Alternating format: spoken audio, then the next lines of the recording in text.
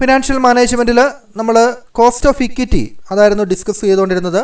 അപ്പോൾ നമുക്ക് ഇതുമായിട്ട് ബന്ധപ്പെട്ട് പഠിക്കാനുള്ള മറ്റൊരു മെത്തേഡാണ് capital asset pricing model or approach അഥവാ സി എ പി എം അപ്പോൾ ഇതിനെ ബേസ് ചെയ്തുകൊണ്ട് നമുക്ക് കോസ്റ്റ് ഓഫ് ഇക്വിറ്റി കണ്ടുപിടിക്കാം. നമുക്ക് these approach was developed by William F Sharpe ഒരു നോബൽ പ്രൈസ് വിന്നർ ആയിട്ടുള്ള വില്യം എഫ് ഷാർപ്പെയാണ് ഈ ഒരു മെത്തേഡ് അപ്രോച്ച് കൊണ്ടുവന്നത്.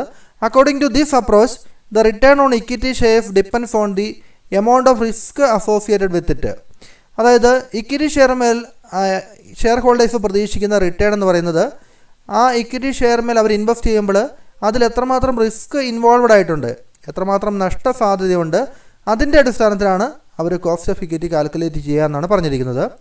ഈ more risk is associated with it equity share capital ഏതെങ്കിലും ഒരു കമ്പനിയുടെ ഇക്വിറ്റി ഷെയർ ക്യാപിറ്റലിൽ കൂടുതൽ റിസ്ക് ഉണ്ടെങ്കിൽ it will provide more return റിസ്ക്കും റിട്ടേണും തമ്മിലൊരു ബന്ധം എന്ന് പറയുന്നത് നമ്മൾ കൂടുതൽ റിസ്ക് എടുക്കുമ്പോൾ കൂടുതൽ റിട്ടേൺ കിട്ടാനുള്ള സാധ്യതയുണ്ടെന്നാണ്.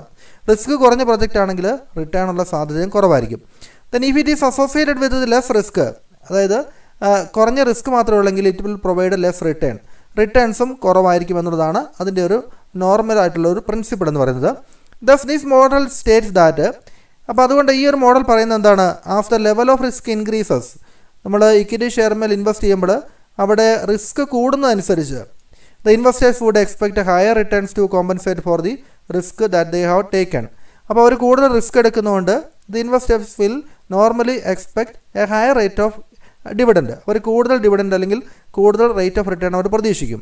There are two type of risk associated with the equity shares ഇപ്പോൾ ഇക്വിറ്റി ഷെയർസുമായിട്ട് ബന്ധപ്പെട്ട് സാധാരണ രണ്ട് റിസ്ക്കുകളാണുള്ളത് സിസ്റ്റമാറ്റിക് റിസ്ക്കും അൺസിസ്റ്റമാറ്റിക് റിസ്ക്കും സിസ്റ്റമാറ്റിക് റിസ്ക് എന്ന് പറഞ്ഞു കഴിഞ്ഞാൽ അത് ഫേം മൊത്തത്തിലുള്ള മാർക്കറ്റിന്റെ മൊത്തത്തിലുള്ള സ്റ്റോക്ക് മാർക്കറ്റ് കണ്ടീഷൻസ് അപ്പോൾ അതിനെയൊക്കെ ബേസ് ചെയ്തുകൊണ്ട് കമ്പനിയുടെ ഷെയർ പ്രൈസിൽ കൂടുതലും കുറവുണ്ടാകാനുള്ള സാധ്യത. അതിനെയാണ് നമ്മൾ സിസ്റ്റമാറ്റിക് റിസ്ക് എന്ന് പറയുന്നത്. അൺസിസ്റ്റമാറ്റിക് റിസ്ക് എന്ന് വെച്ച് കഴിഞ്ഞാൽ കമ്പനി സ്പെസിഫിക് ആയിട്ട് നമ്മൾ ഏത് കമ്പനിയുടെ ഷെയറുകളാണ് വാങ്ങിച്ചിരിക്കുന്നത് ആ കമ്പനിയുമായിട്ട് ബന്ധപ്പെട്ട കാര്യങ്ങൾ അതുമായിട്ട് ബന്ധപ്പെട്ട ന്യൂസ് പുറത്തു വരുമ്പോൾ നമ്മുടെ ഷെയർ പ്രൈസിന് ആ ഷെയർ മേൽ കൂടുതലും കുറയാനുമുള്ള സാധ്യത അതിനെയാണ് നമ്മൾ അൺസിസ്റ്റമാറ്റിക് റിസ്ക് എന്ന് പറയുന്നത്. നമ്മൾ ഈ ഒരു കേസിൽ ക്യാപിറ്റൽ അസറ്റ് പ്രൈസിംഗ് മോഡൽ അപ്രോച്ചിൽ നമ്മൾ സിസ്റ്റമാറ്റിക് റിസ്ക് ആണ് എടുക്കുന്നത്. സിസ്റ്റമാറ്റിക് റിസ്ക് മെഷർ ചെയ്യുന്ന അല്ലെങ്കിൽ അതിന്റെ ഡിനോട്ട് ചെയ്യുന്ന ഒരു വാല്യൂ എന്ന് പറയുന്നത് ബീറ്റയാണ് ബീറ്റ ബീറ്റയുടെ ഡിനോട്ട് ചെയ്യുന്ന ഒരു ചിഹ്നം സൈൻ ഓർത്തിരിക്കുക. അപ്പോൾ ബീറ്റ മാത്രമാണ് നമ്മളിവിടെ കൺസിഡർ ചെയ്യുക. When any change take place in the market price of shares it occurs due to the combination of both systematic risk and unsystematic risk അപ്പോൾ സാധാരണ ഒരു മാർക്കറ്റ് പ്രൈസ് ഷെയറിന്റെ മാർക്കറ്റ് പ്രൈസിലുണ്ടാകുന്ന മാറ്റം എന്ന് പറയുന്നത് പലപ്പോഴും സിസ്റ്റമാറ്റിക് റിസ്ക്കും അൺസിസ്റ്റമാറ്റിക് റിസ്ക്കും അതായത് കമ്പനിയുടെ സ്പെസിഫിക് ആയിട്ടുള്ള കാരണങ്ങൾ കൊണ്ടും ഓവറോൾ ആയിട്ടുള്ള മാർക്കറ്റിലെ കണ്ടീഷൻസ് മുഖാന്തരമെല്ലാം ഷെയർ പ്രൈസിൽ മാറ്റം ഉണ്ടാകാറുണ്ട്. If the value of beta is high ഇവിടെ നമ്മൾ ബീറ്റ ഹൈ ആണെങ്കിൽ അതായത് സിസ്റ്റമാറ്റിക് റിസ്ക് ഹൈ ആണെങ്കിൽ the risk is considered to be high സാധാരണ നോർമലി ഒന്നിൽ കൂടുതലാണ് ഒരു ഷെയറിന്റെ ബീറ്റ എന്ന് പറയുന്നതെങ്കിൽ അവിടെ ഹൈ റിസ്ക് ആണ് ആ ഷെയറിനുള്ളതെന്ന് അതായത് ആ കമ്പനിയിൽ മാർക്കറ്റിലുണ്ടാകുന്ന ഏതൊരു മാറ്റവും ഓവറോളായിട്ട് മാർക്കറ്റിലുണ്ടാകുന്ന ഏതൊരു പ്രതികൂലമായിട്ടുള്ള മാറ്റവും ആ ഇക്വിറ്റി ഷെയറിന്റെ വില ഇടിക്കാനുള്ള സാധ്യതയുണ്ട്. അപ്പോൾ ബീറ്റ ഹൈ ആണെങ്കിൽ റിസ്ക് കൂടുതലാണെന്ന് അർത്ഥം. Under C A P M approach cost of equity capital is calculated by using the following formula ഇപ്പോൾ സി എ പി എം അപ്രോച്ചിൽ കോസ്റ്റ് ഓഫ് ഇക്വിറ്റി കാൽക്കുലേറ്റ് ചെയ്യാനുള്ള ഈ ഇക്വേഷൻ ഓർത്തിരിക്കണം.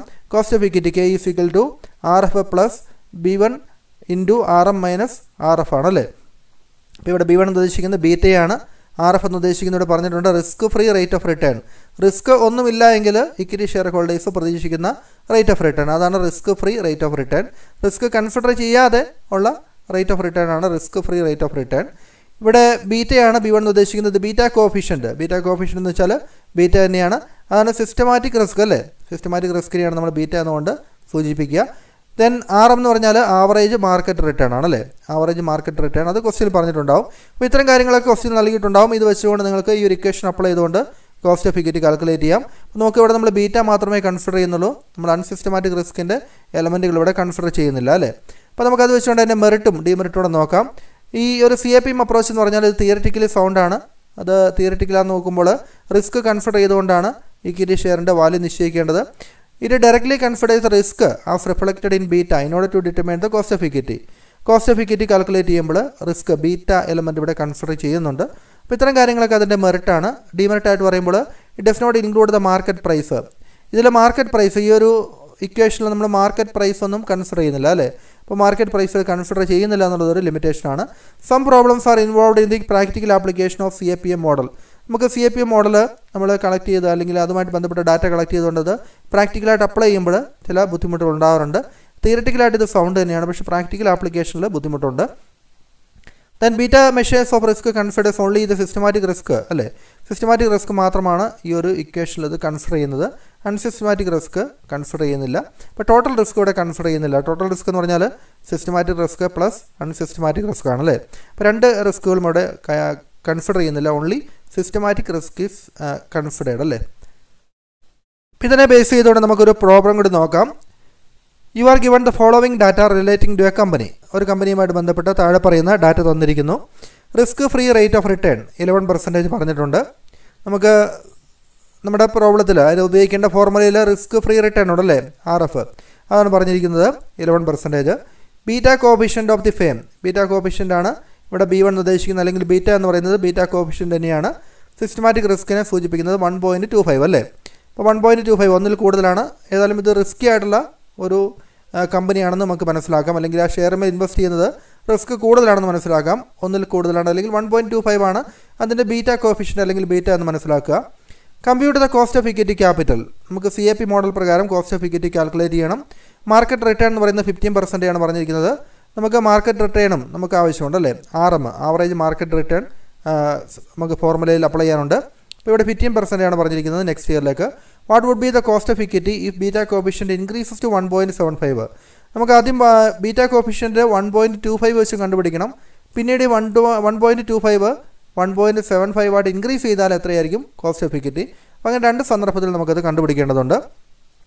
ഏതായാലും ബീറ്റ കൂടുന്നതനുസരിച്ച് കോസ്റ്റ് ഓഫ് ഇക്വിറ്റി അത് നമുക്ക് കൂടി വരണം അല്ലേ? Beta one point two five ഉണ്ടായി വരുമ്പോൾ അതിനേക്കാളും കൂടുതലായിരിക്കും ബീറ്റ വൺ പോയിന്റ് സെവൻ ഫൈവിൽ കോസ്റ്റ് ഓഫ് ഇക്വിറ്റി എന്ന് പറയുന്നത് അല്ലേ? അപ്പോൾ അതുകൂടി നമുക്കൊന്ന് പരിശോധിച്ച് നോക്കാം. ഇവിടെ കെ കണ്ടുപിടിക്കാൻ വേണ്ടി നമ്മൾ ഇക്വേഷൻ നമ്മൾ എടുത്ത് എഴുതുക R F plus B one into R M minus R F ആണ്. ഇവിടെ തന്നിരിക്കുന്ന കാര്യങ്ങൾ എലമെന്റുകൾ എടുത്ത് എഴുതുക ഈ രീതിയിൽ നിങ്ങൾക്ക് കണ്ടുപിടിക്കാം. അല്ലെങ്കിൽ ഇച്ചിരിയുടെ എളുപ്പത്തിൽ നിങ്ങൾക്ക് വേണമെങ്കിൽ ഇവിടെ നോക്കുക. പോയിന്റ് വൺ വൺ ഇലവൻ പെർസെന്റേജിനെ നമുക്ക് പോയിന്റ് വൺ വൺ എന്ന് എടുക്കാം. അതായത് ആർ എഫ് ആർ എഫ് എന്ന് വെച്ച് കഴിഞ്ഞാൽ എന്താണ്? ആർ എഫ് എന്നിവിടെ പറഞ്ഞിരിക്കുന്നത് നോക്കുക. Risk free rate of return ആണല്ലേ ക്വസ്റ്റ്യനിൽ പറഞ്ഞിരിക്കുന്നത് risk free rate of return eleven percentage ആണ്. ഇലവൻ പെർസെന്റേജിനെ നമുക്ക് സീറോ പോയിന്റ് വൺ വൺ അല്ലെങ്കിൽ പോയിന്റ് വൺ വൺ എടുക്കാം. അതായത് ഇലവൻ ഡിവൈഡഡ് ബൈ ഹൺഡ്രഡ് അല്ലേ? പെർസെന്റേജ് മാറ്റി ഡെസിമൽ ഫോമിലേക്ക് മാറ്റുമ്പോൾ നമുക്ക് പോയിന്റ് വൺ വൺ കിട്ടും. Plus one point two five. One point two five ആണ് നമുക്കിവിടെ ബീറ്റ തന്നിരിക്കുന്നത്. ഇന്റു ബാക്കിയെല്ലാം ഇതിനൊക്കെ നമുക്ക് ഡെസിമൽ ഫോമിൽ എടുക്കുന്നു. Point one five minus point one one അല്ലേ? അപ്പോൾ നമുക്കത് അപ്ലൈ ചെയ്യുമ്പോൾ ആദ്യം നിങ്ങളത് point one five minus point one one കണ്ടുപിടിക്കുക. അതിനുശേഷം അതിനെ point one point two five കൊണ്ട് മൾട്ടിപ്ലൈ ചെയ്യുക. പ്ലസ് പോയിന്റ് വൺ വൺ അല്ലേ? അപ്പോൾ നമുക്ക് സിക്സ്റ്റീൻ പെർസെന്റേജ് കിട്ടും. അപ്പോൾ ഇങ്ങനെയാണ് സിക്സ്റ്റീൻ പെർസെന്റേജ് ലഭിക്കുക. ഇനി രണ്ടാമത്തെ കേസിൽ beta coefficient one point seven five ആണെങ്കിൽ നമുക്കിവിടെ വൺ പോയിന്റ് ടു ഫൈവിന് പകരം വൺ പോയിന്റ് സെവൻ ഫൈവ് എന്നാവും അല്ലേ? അത്ര വ്യത്യാസമുള്ളൂ. ബാക്കിയെല്ലാം അതുപോലെ തന്നെയാണ്. അപ്പോൾ നമുക്ക് എയ്റ്റീൻ പെർസെന്റേജ് നമുക്ക് കിട്ടും. അപ്പോൾ നമുക്ക് ആ ബീറ്റ കൂടുന്നതനുസരിച്ച് വൺ പോയിന്റ് ടു ഫൈവിൽ നിന്ന് വൺ പോയിന്റ് സെവൻ ഫൈവിലേക്ക് ബീറ്റ കൂടുന്നതനുസരിച്ച് സിക്സ്റ്റീൻ പെർസെന്റേജിൽ നിന്ന് കോസ്റ്റ് ഓഫ് ഇക്വിറ്റി എത്രയായിട്ട് മാറി? എയ്റ്റീൻ പെർസെന്റേജ് ആയിട്ട് മാറിയിട്ടുണ്ടല്ലേ ഇനി നമുക്ക് മറ്റൊരു മെത്തേഡിന്റെ ഒരു തിയറി കൂടി നമുക്ക് നോക്കണം. ഗോഡൻസ് ഡിവിഡൻഡ് ഗ്രോത്ത് മോഡലാണ് this method was developed by M Gordon to calculate the cost of equity cost of equity calculate ചെയ്യാൻ വേണ്ടി ഗോഡൻ എന്ന് പറയുന്ന വ്യക്തിയാണിത് ഡെവലപ്പ് ചെയ്തത്. ഈ മോഡൽ പ്രകാരം an investor always prefers less risky investment risk കുറഞ്ഞിട്ടുള്ള investment ആണ് എപ്പോഴും ഒരു ഇൻവെസ്റ്റർ മുൻഗണന കൊടുക്കുന്നത്. Therefore a company should pay risk premium only on risk investment ഇപ്പോൾ റിസ്കി ഇൻവെസ്റ്റ്മെന്റിൽ മാത്രം അതായത് റിസ്ക് ഉള്ള ഇൻവെസ്റ്റ്മെന്റിൽ മാത്രമേ റിസ്ക് പ്രീമിയം അധികമായിട്ടുള്ള ഒരു പ്രീമിയം അധികമായിട്ടുള്ള ഒരു എമൗണ്ട് കമ്പനി കൊടുക്കാൻ വേണ്ടി ready Gordon model also suggest that and investor would always prefer those investment which provide him current income അപ്പോൾ കറണ്ട് ഇൻകം നിലവിൽ അതായത് ഡിവിഡൻഡ് കിട്ടുന്ന തരത്തിലുള്ള ഒരു വരുമാനം കിട്ടുന്ന തരത്തിലുള്ള ഇൻവെസ്റ്റ്മെന്റ് ആയിരിക്കും ആളുകൾ കൂടുതൽ മുൻഗണന കൊടുക്കുക. കറണ്ട് ഇൻകത്തിന് ആളുകൾ മുൻഗണന കൊടുക്കുന്നു എന്നുള്ള കാര്യം ഗോഡൻ പറയുന്നുണ്ട്. ഇനി ഏതായാലും ഈ ഒരു മെത്തേഡ് പ്രകാരം നമുക്ക് കോസ്റ്റ് ഓഫ് ഇക്വിറ്റി കാൽക്കുലേറ്റ് ചെയ്യാൻ വേണ്ടിയുള്ള ഇക്വേഷൻ കൂടി ഓർത്തിരിക്കുക. K into D into one plus G ആണ്. ഡി എന്ന് വെച്ച് കഴിഞ്ഞാൽ നമുക്ക് ഈ ഒരു വർഷത്തിന്റെ ആരംഭത്തിലുള്ള ഡിവിഡൻ അല്ലെങ്കിൽ ലാസ്റ്റ് ഇയറിലെ ഡിവിഡന്റ് ഡി ആണ്.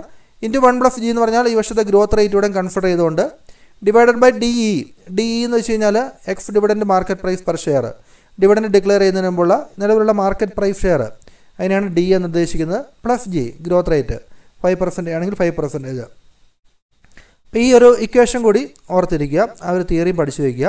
അപ്പോൾ അടുത്ത ക്ലാസ്സിൽ നമുക്ക് കോസ്റ്റ് ഓഫ് റിട്ടേൺ ഏണിങ്സ് അത് പഠിക്കാം. താങ്ക്